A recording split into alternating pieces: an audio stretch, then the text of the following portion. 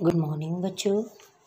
मैं Poonam Sharma, Sanskrit teacher Mount Litera Zee school Jhansi.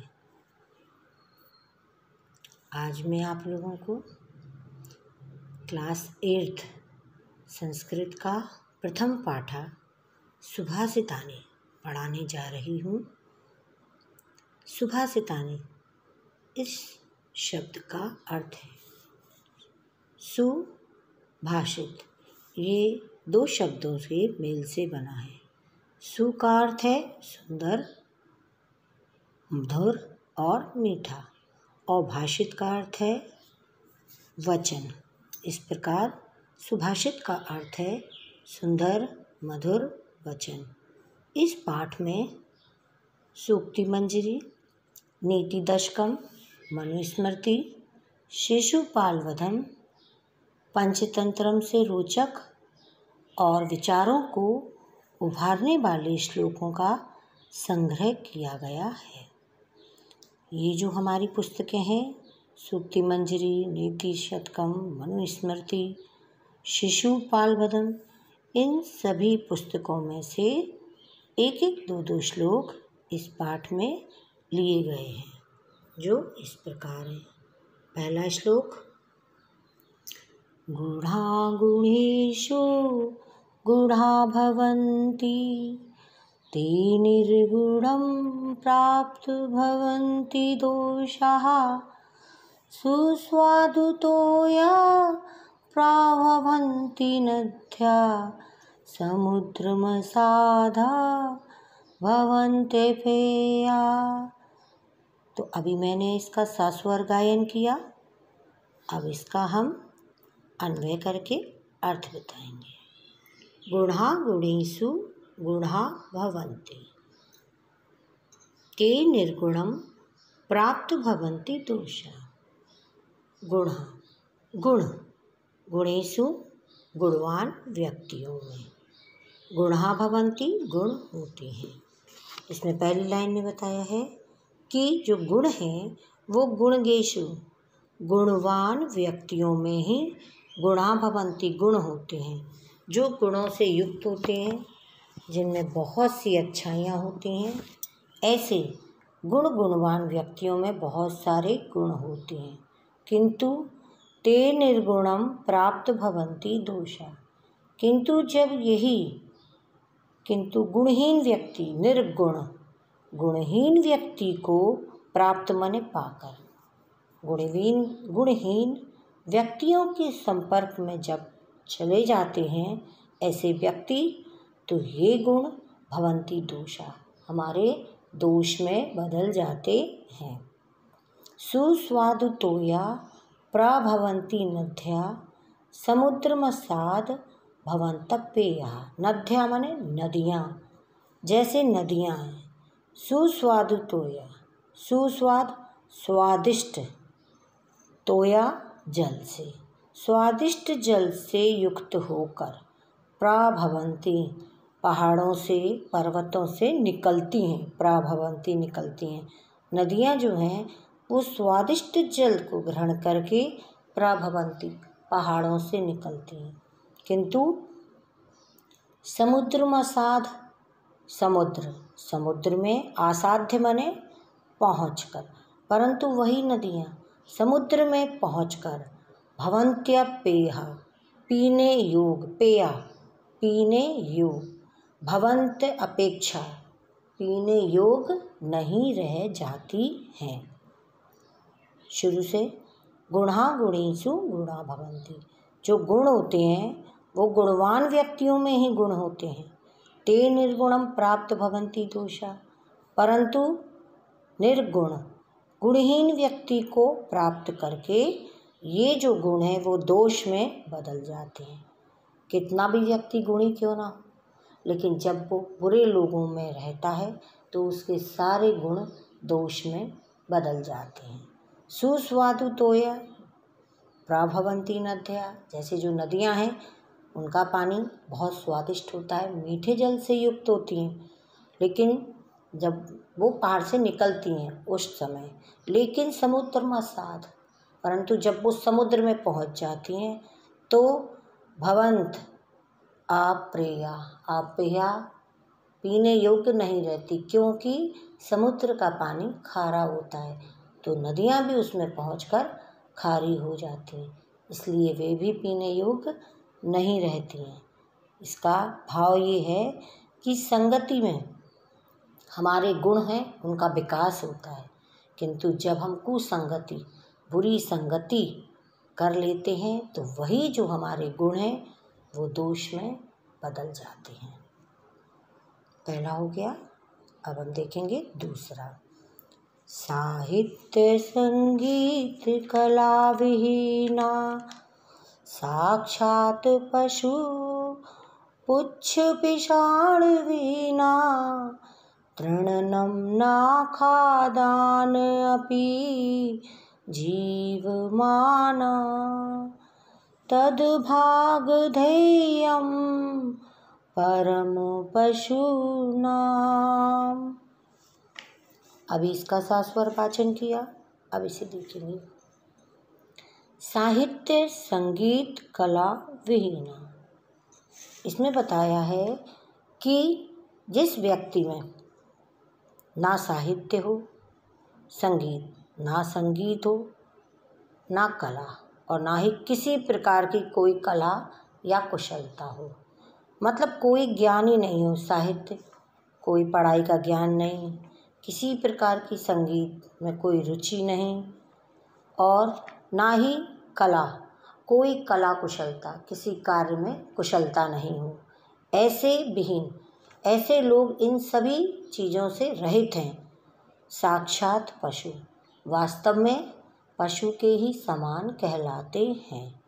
पुच्छ विषाणहीन, सिर्फ़ उनके पुच्छ मन पूँछ, और विषाणहीन का अर्थ होता है सींग। बस पूँछ और सींग से रहित ही होते हैं, लेकिन वैसे साक्षात पशु के समान ही कहलाते हैं। जिनके पास ना साहित्य है, ना संगीत है और ना कला। इन सबसे जो मनुष्य रहित हैं, वे साक्षात पशु। साक्षात वास्तव में पशु के समान है, पुच्छ विषाणहीन। बस उनके पूँछ और सींग ही नहीं है, क्योंकि पूँछ और सींग पशु के होते हैं। तृणम ना खादनपि। तृणम घास। जो घास ना खाते हुए भी, ऐसे मनुष्य क्या हैं? घास ना खादनपि घास ना खाते हुए भी जीव माना जीवित है। ऐसे मनुष्य जो हैं, वो घास नहीं खाते हैं। भोजन तो करते ही हैं। भोजन ही करते हैं, अन्य मनुष्यों के समान वो भोजन ही करते हैं। घास नहीं खाते हैं तद भाग्यधेयम परम पशुनाम पशुओं का। पशुनाम परम। पशुओं का ये तो परम भाग्यधेयम, सौभाग्य है। ये तो उन पशुओं का, पशुनाम परम भाग्यधेयम। यह तो उन पशुओं का परम सौभाग्य है कि ऐसे व्यक्ति घास फूस नहीं खाते, बल्कि स्वादिष्ट भोजन करते हैं।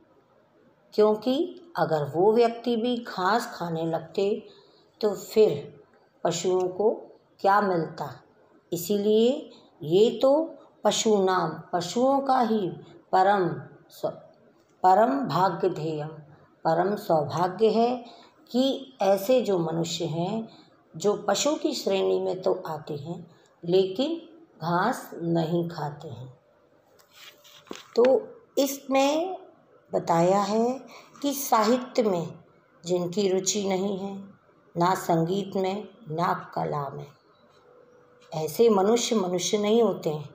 इनका जीवन पशु के समान ही होता है, जो पशु के समान ही जीवित रहते हैं।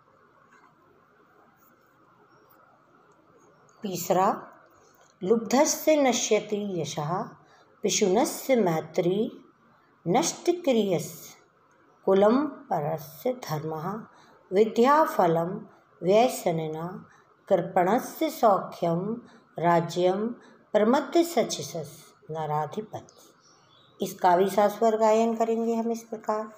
लुब्धस्य नश्यति यशः पिशुनस्य मैत्री नष्ट नष्टक्रियस्य कुलर्थपरस्य धर्मा। विद्याफलं व्यसनिना। कृपणस्य सौख्यम् राज्यं प्रमथसचिवस्य नराधिपस्य। लुब्धस्य। लोभी का यश नश्यति, नष्ट हो जाता है। जो लोभी व्यक्ति होते हैं, लालची लोग होते हैं, ऐसे लोगों का यश ऐसे लोगों की कीर्ति। यश का अर्थ होता है, कीर्ति समाप्त हो जाती है।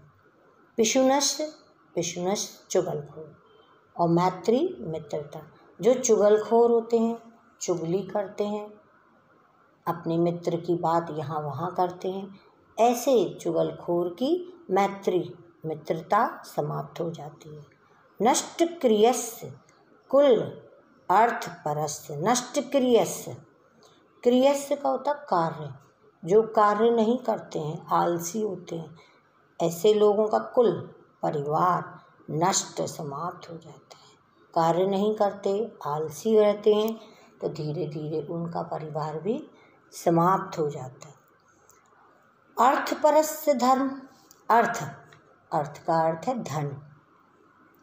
और जो धन को परस से अधिक महत्व देते हैं, जो धन को ही अधिक महत्व देते हैं। ऐसे लोगों का धर्म समाप्त हो जाता है। विद्या फलम वैशनना। वैसन बुरी आदत वाले। वैसनना का अर्थ होता है बुरी आदत वाले। जो लोग होते हैं, उन्हें अपनी विद्या का फल नहीं मिलता है। कृपणस कंजूस। और जो कंजूस होते हैं, सौख्यम, उन्हें कभी सुख प्राप्त नहीं होता है, क्योंकि वो धन के लालच में लगे रहते हैं। धन को जमा करने के लिए, इस सोच में, इसलिए कभी भी वो सुखी नहीं रह पाते हैं। राज्यम प्रमद सचिवस्य नराधिपत। प्रमद सचिव सचिव का अर्थ है मंत्री, और प्रमद प्रमद जो अपने कर्तव्य से विमुख मंत्री हैं। ऐसे मंत्री जो प्रमद सचिव कर्तव्य से विमुख मंत्री हैं, जो अपना कार्य लगन से नहीं करते हैं। इस कारण नराधिपत उस राजा का राज्य नश्यति नष्ट हो जाता है। उस राजा का राज्य भी नष्ट हो जाता है कि जो मंत्री कार्य ढंग से नहीं करते हैं तो ऐसे नराधिपत, ऐसे राजा का राज्य समाप्त हो जाता। है लुब्धस्य नश्यति यश लालची व्यक्ति का यश नष्ट हो जाता है। पिशुनस चुगलखोर की मित्रता और आगे। नष्ट क्रियस जो कार्य नहीं करते, उनका कुल परिवार नष्ट हो जाता है। अर्थपरस्त धर्म, जो अर्थ को धन को अधिक महत्व देते, उनका धर्म, विद्या फलम व्यसना, और बुरे कार्यों को जो करते, उनकी विद्या का फल। कृपणस्य शौक, कंजूस का सौख्यम सुख नष्ट हो जाता है। प्रमद सचजस्य जो प्रमद राजा होते कर अपने कर्तव्य से विमुख। सचिवस्य ऐसे मंत्री के कारण ही नराधिपत उस राजा का राज्य समाप्त हो जाता है। भाव ये है कि यदि यश चाहिए तो व्यक्ति लालच ना करे, मित्रता चाहिए तो चुगलखोर ना हो, और धर्माचरण करना हो तो धन लाभ को अधिक महत्व ना दे। विद्या का फल प्राप्त करना हो, बुरी आदतों से बचें। जीवन में सुख चाहिए तो कंजूस ना हो और यदि राजा को अपनी सत्ता बनाए रखनी है तो मंत्री को कर्तव्य के प्रति लापरवाह नहीं होना चाहिए। आगे का हम